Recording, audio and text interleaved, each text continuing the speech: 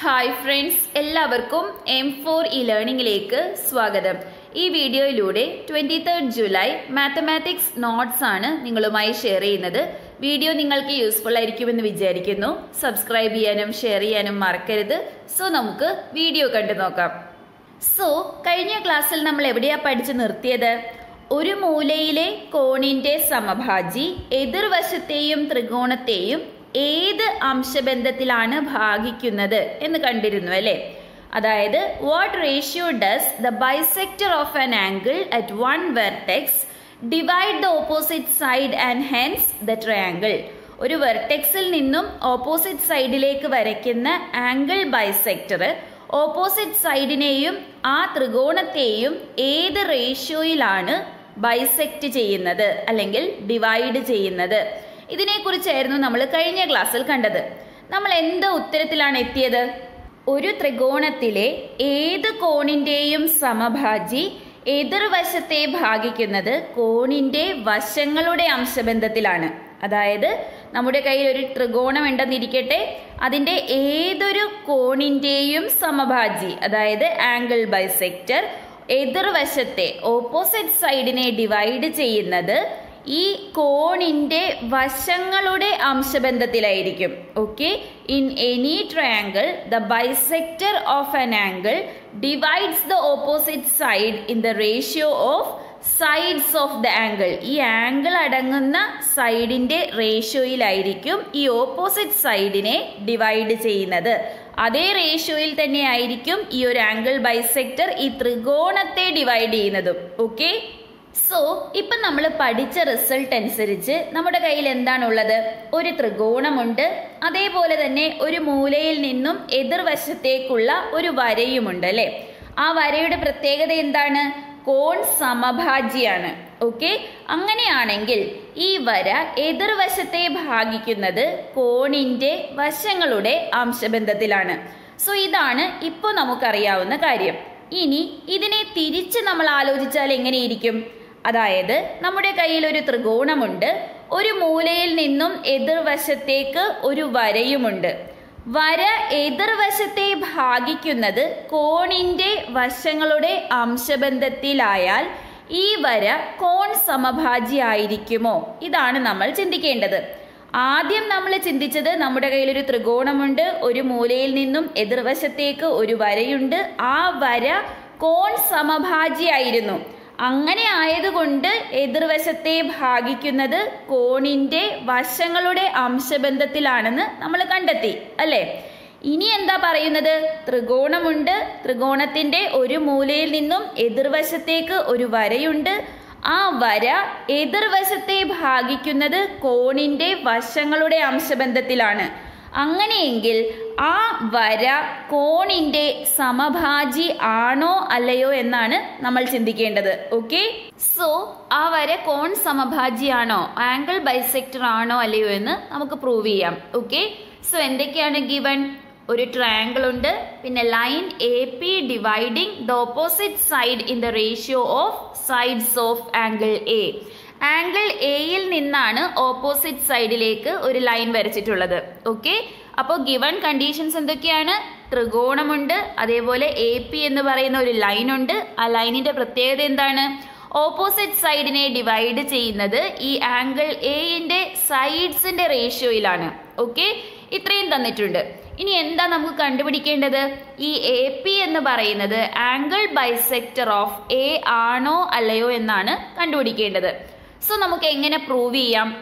ഇവിടെ A P bisects opposite side in the ratio of angle A നമുക്കറിയാം A P എന്ന് പറയുന്ന line opposite സൈഡിനെ ബൈസെക്ട് ചെയ്യുന്നത് എ എന്ന് പറയുന്ന ആംഗിളിന്റെ വശങ്ങളുടെ റേഷ്യോയിലാണ് but angle bisector of angle A also bisects opposite side in the ratio of sides of angle A പക്ഷെ നമുക്ക് ഓൾറെഡി അറിയാവുന്ന ഒരു റിസൾട്ട് ഉണ്ട്. ഈ ആംഗിൾ എയ്ക്ക് നമ്മൾ ഒരു ബൈസെക്ടർ വരയ്ക്കുകയാണെങ്കിൽ ആ ബൈസെക്ടർ എതിർവശത്തെ എങ്ങനെയാണ് ഡിവൈഡ് ചെയ്യുന്നത്?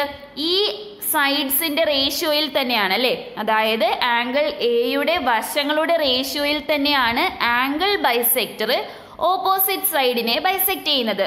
Therefore angle bisector also passes through P P എന്ന് പറയുന്ന പോയിന്റിൽ കൂടി തന്നെ വേണം ആംഗിൾ ബൈസെക്ടറും കടന്നു പോകാനായിട്ട്. ഓൾറെഡി എ പി ഈ വശത്തെ ബൈസെക്ട് ചെയ്യുന്നത് ഈ വശങ്ങളുടെ റേഷ്യോയിലാണെന്ന് നമുക്ക് തന്നിട്ടുണ്ട് അല്ലേ? പക്ഷെ നമുക്കറിയാം ആംഗിൾ എന്റെ ബൈസെക്ടറും ഈ രീതിയിൽ തന്നെയാണ് ഓപ്പോസിറ്റ് സൈഡിനെ ബൈസെക്ട് ചെയ്യുന്നത്.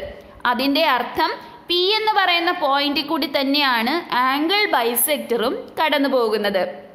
That is, we have two lines passing through A and P. A എന്ന പോയിന്റും പി എന്ന പോയിന്റിലൂടെയും കടന്നു പോകുന്ന രണ്ട് ലൈൻസ് ഉണ്ട് അല്ലേ? ഒന്ന് എ പി പിന്നെ ഇപ്പം നമ്മൾ പറഞ്ഞു ആംഗിൾ ബൈസെക്ടറും പിയിലൂടെ തന്നെ കടന്നു പോകണമെന്ന്. പക്ഷേ രണ്ട് പോയിന്റ്സിലൂടെ ഒരു ലൈനിന് മാത്രമേ കടന്നു പോകാനായിട്ട് സാധിക്കുള്ളൂ.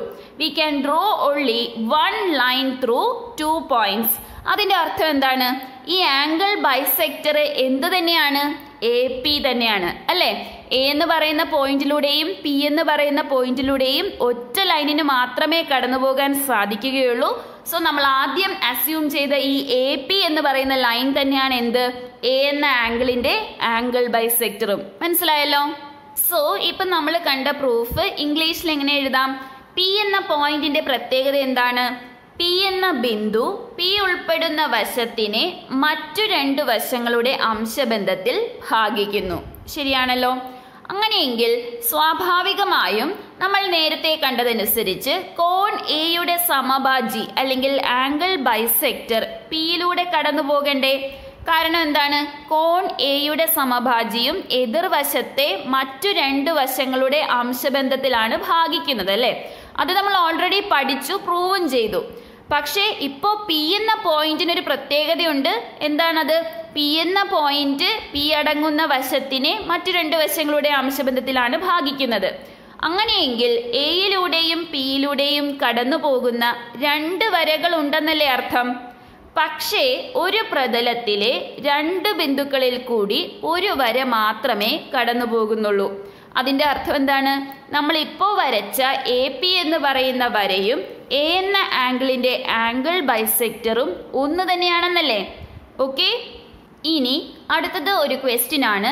How many different non congruent triangles can you draw with two sides eight and six centimetres and area twelve square centimetres നമ്മളോട് ചോദിച്ചിരിക്കുന്നത് രണ്ട് വശങ്ങൾ എട്ടും ആറും സെന്റിമീറ്റർ ആയിട്ടുള്ള ഏരിയ പന്ത്രണ്ട് സ്ക്വയർ സെന്റിമീറ്റർ ആയിട്ടുള്ള എത്ര നോൺ കോൺഗ്രുവൻ ട്രയാങ്കിൾസ് വരയ്ക്കാമെന്നാണ്.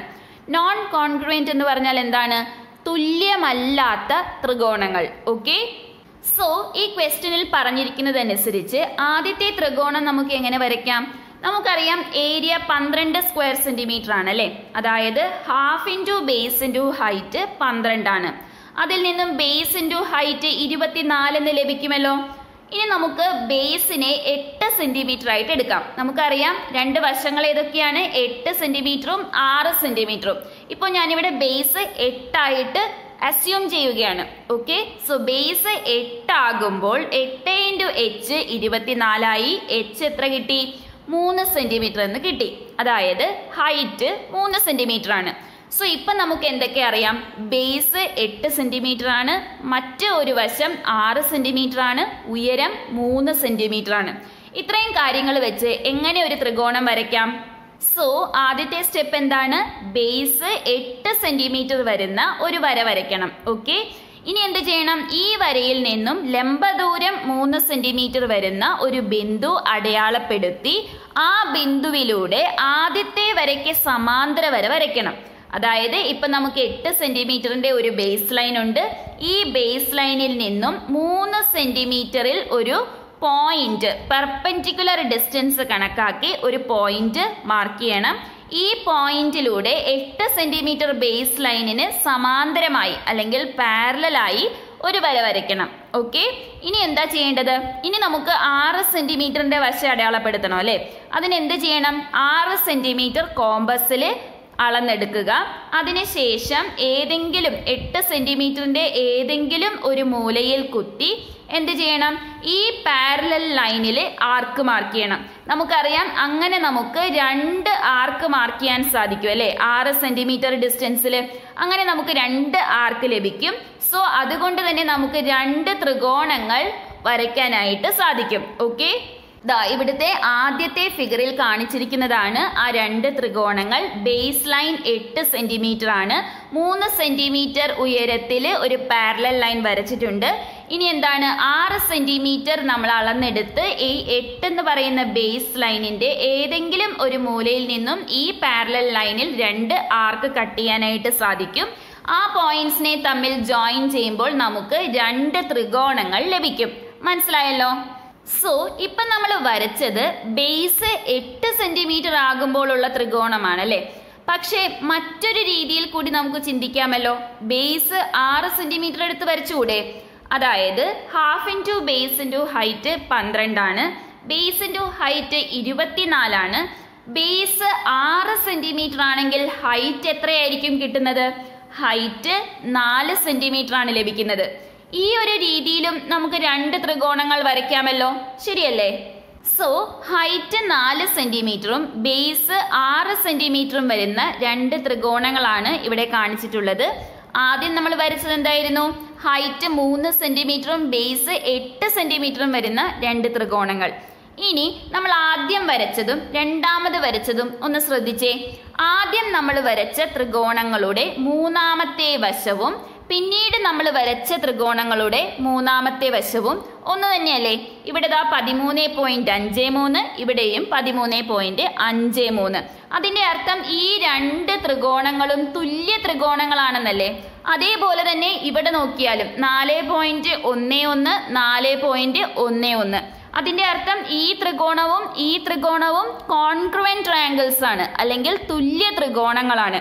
നമ്മളോട് ചോദിച്ചിരിക്കുന്നത് നോൺ കോൺഗ്രുവന്റ് ആയിട്ട് എത്ര ത്രികോണങ്ങൾ വരയ്ക്കാമെന്നാണ്. സോ നോൺ കോൺഗ്രുവന്റ് ആയിട്ട് അല്ലെങ്കിൽ തുല്യമല്ലാത്ത എത്ര ത്രികോണങ്ങൾ വരയ്ക്കാം നമുക്ക്? രണ്ട് ത്രികോണങ്ങൾ മാത്രമേ വരയ്ക്കാൻ സാധിക്കുള്ളൂ. പിന്നീട് നമ്മൾ വരയ്ക്കാൻ ശ്രമിച്ചാലും ആദ്യം വരച്ച അതേ ത്രികോണങ്ങൾ തന്നെയായിരിക്കും ലഭിക്കുന്നത്. മനസ്സിലായല്ലോ? സോ നമുക്ക് ഇതിന്റെ റിസൾട്ട് എങ്ങനെ എഴുതാം? We can draw only two congruent triangles with sides eight centimetre and six centimetre and area twelve square centimetre area പന്ത്രണ്ട് സ്ക്വയർ സെന്റിമീറ്ററും രണ്ട് വശങ്ങൾ എട്ട് സെന്റിമീറ്ററും ആറ് സെന്റിമീറ്ററും വരുന്ന രണ്ട് നോൺ കോൺഗ്രുവൻ ത്രികോണങ്ങൾ മാത്രമാണ് നമുക്ക് വരയ്ക്കാൻ സാധിക്കുന്നത്. ഓക്കെ സോ ഇത്രയും കാര്യങ്ങളായിരുന്നു ഈ ഒരു ക്ലാസ്സിൽ ചർച്ച ചെയ്തിരുന്നത്. സോ ഈ വീഡിയോ നിങ്ങൾക്ക് നോട്ട്സ് കംപ്ലീറ്റ് ചെയ്യാൻ ഹെൽപ്ഫുൾ ആയിട്ടുണ്ടാകുമെന്ന് വിചാരിക്കുന്നു. നിങ്ങളുടെ അഭിപ്രായങ്ങളും നിർദ്ദേശങ്ങളും കമന്റ് അറിയിക്കാൻ മറക്കരുത്. അതുപോലെ തന്നെ ഇതുവരെ നമ്മുടെ ചാനൽ സബ്സ്ക്രൈബ് ചെയ്തിട്ടില്ലാത്ത കൂട്ടുകാരെ എന്തായാലും ചാനൽ ഒന്ന് സബ്സ്ക്രൈബ് ചെയ്ത് സപ്പോർട്ട് ചെയ്യണം. അതോടൊപ്പം തന്നെ വീഡിയോയുടെ ലിങ്ക് നിങ്ങളുടെ ഫ്രണ്ട്സിന് ഷെയർ ചെയ്ത് കൊടുക്കാനും മറക്കരുത്. സോ മറ്റൊരു വീഡിയോയിൽ കാണുന്നതുവരെ താങ്ക് യു ഫ്രണ്ട്സ്